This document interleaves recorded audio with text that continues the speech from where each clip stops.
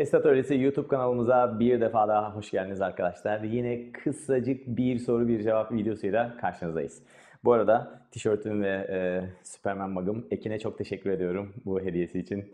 Hani söylemiştim videoda kullanacağım diye. Şimdi bu videonun konusu present perfect continuous mu kullanacağım?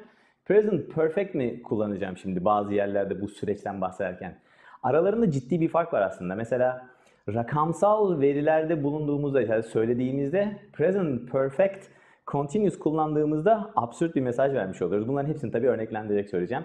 Yine videonun sonunda bir iki cümle vereceğiz bunlarla ilgili. Mesela close test sınavına girenler, boşluk doldurma sınavına gidenler her böyle sonunda since yesterday, since last year gibi şeyler gördüğünde aa bu present perfect deyip hemen present perfect'i işaretliyor. Ya da ha present perfect continuous da var şıklarda. Hangi birini yazacağım acaba diye ikileme düşebiliyor. Çok normal ama cevabı da bir bu kadar kolay. Şimdi geçen seneden beri ya da e, son 10 yılda ya da e, 2000'lerin başından beri 10 kitap yazıyorum mu derseniz 10 kitap yazdım mı derseniz gezegenler hakkında ya da işte burçlar hakkında Allah göstermesin.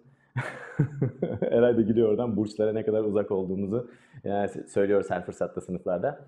Şimdi hangisini söylerseniz 2000'lerin başından beri bu konuda 10 kitap yazıyorum mu 10 kitap yazdım mı? Yazdım denir tabii ki. O yüzden rakamsal veri varsa cümlenizde I have written 10 books since the early 2000s diyebilirsiniz. Bakın 10 kitabı yazıyorum demeniz için sabah kalkıp e, sabah 8 ile 9 arasında birinci kitaptan 2 sayfa yazayım. Ondan sonra bir kahve molası verip ikinci kitapta bir, bir chapter yazayım diye 10 kitap yazıyor olmanız lazım. Çok saçma ötesi.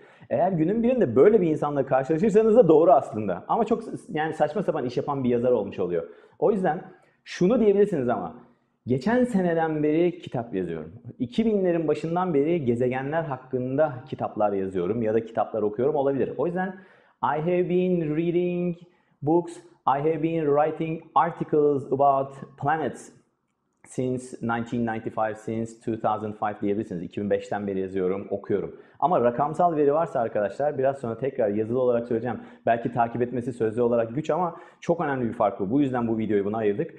I have been reading 12 books denmez. 12 kitabı aynı anda okumazsınız çünkü. O yüzden I have been reading books about planets.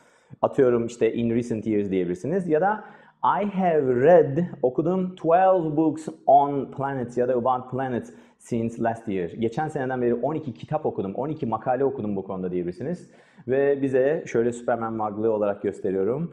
Info Test Atölyesi'nden ulaşabilirsiniz. Bunun cümlelerini merak etmeyin. Hızlı geçti. Muhtemelen bazı arkadaşlar takip edememişti. Çok karmaşık geldi. Çok böyle havada çünkü her şey gibi e, görmüş olabilirler. Şimdi onun cümlelerini yazacağız. Bu işi bitirmiş olacağız. Görüşmek üzere. Kolay gelsin.